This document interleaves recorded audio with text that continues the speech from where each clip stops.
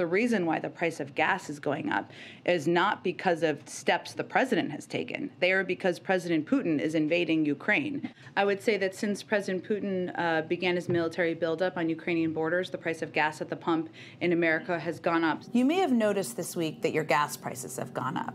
I want to talk to you a little bit about why. A lot of it has to do with Vladimir Putin. Americans are paying a higher price at the pump because of the actions of President Putin. President's statement blames the Putin price hike. Are you guys just going to start blaming Putin for everything until the midterms? All right. White House Press Secretary Jen Psaki blaming surging gas prices on Vladimir Putin. Well, it comes as she reportedly has some new plans. An Axios report says she might be leaving the White House and joining MSNBC. So, who's going to take her place behind the podium? And would you tune in to watch her new show? That's today's bottom line. Panelists, let's ask them. Uh, Jessie Jane Duff, uh, Vic Bajaj, Jonathan Gilliam. Jessie Jane Duff, we'll start with you. Uh, and we just played a couple of clips there of, of, of Psaki. And that could be your precursor to, to, to her show. That's what you'd be watching. I expect that she's going to do quite well after leaving the White House. And many people may be upset hearing me say this, but she does a phenomenal job presenting the Democratic narrative and presenting a narrative that protects this White House from any blame. She spins things in a manner that are actually uh, believable if you don't really understand the entire situation or backtrack through the facts of history.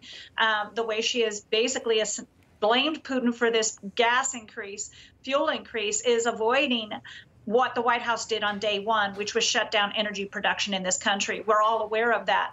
Um, but she does a very good job of plausible deniability pretty much for everything that she has to say. I expect she'll get paid well wherever she goes. If she writes a book, whether she gets on MSNBC, whatever network pays her, I don't think this is the last we'll see of Jen Psaki. Yeah, and I mean, we have seen, of course, former press secretaries uh, head to different cable news networks. So perhaps it's not the biggest surprise, uh, Vic, but what do you think of her of her next move? Well, I think we have to take the bag of goods that she will take with her. I think she's unlikable to a lot of people because when she responds to good questions from good journalists, asking questions and asking for answers that we want to know as citizens dealing with these issues now in the United States. She's very crass. She bites back and she yells and demeans in a very real way these journalists. Now, the advantage she will have at any other network is she's not going to have to take live questions.